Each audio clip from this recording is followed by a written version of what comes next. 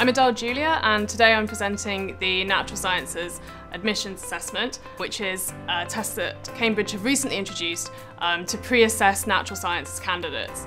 The test itself is designed to distinguish between the really good and the good.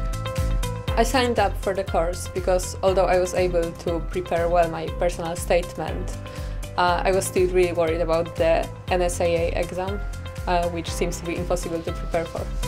So the two elements of being prepared for the NSAA are knowing your stuff, knowing the A-level syllabus really well, and then being a little bit familiar with the kind of questions that might be asked and practicing, practice, practice, practice.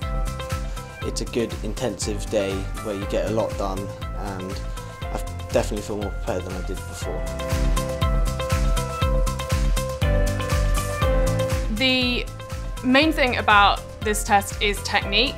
And so I think coming to this course is going to really help candidates improve their technique and also feel more confident answering questions and be a little bit less intimidated by the whole experience of the test itself.